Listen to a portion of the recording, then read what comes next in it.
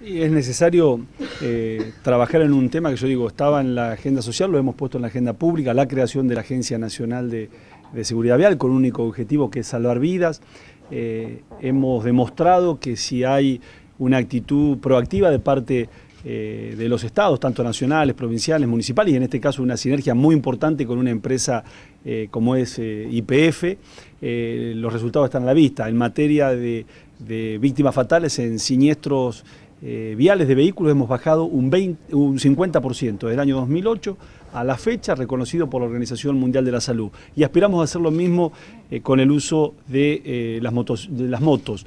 esto es muy importante porque, a ver, las motos producen la principal causa de muerte no natural de los menores de 25 años.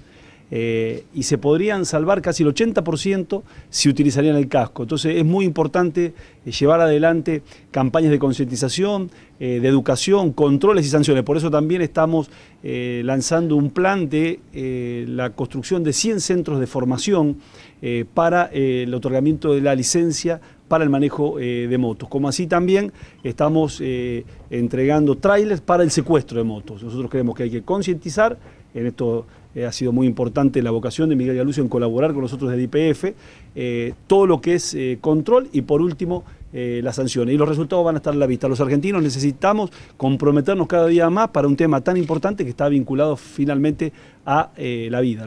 Para nosotros ser, ser capaces en este caso de poder colaborar con el Ministerio de Transporte en una causa tan noble como es el hecho de educar en la seguridad vial y salvar vidas, nos da orgullo y placer y por supuesto estamos acá para acompañar a Florencio en esa actividad y ponemos nuestro granito de arena desde IPF que de alguna manera tiene, tiene, tiene mucho que ver con todo lo que hace a la parte vial del país. Un paso más en lo comunicacional con este nuevo spot que creo que va a ser un hit y con las promotoras en la estación de servicio repartiendo panfleto y ojalá pudiéramos en algún momento hacer un poco más de fuerza para que haya más eh, un refuerzo auténtico en que la gente que cargue nafta tenga el casco puesto. ¿no?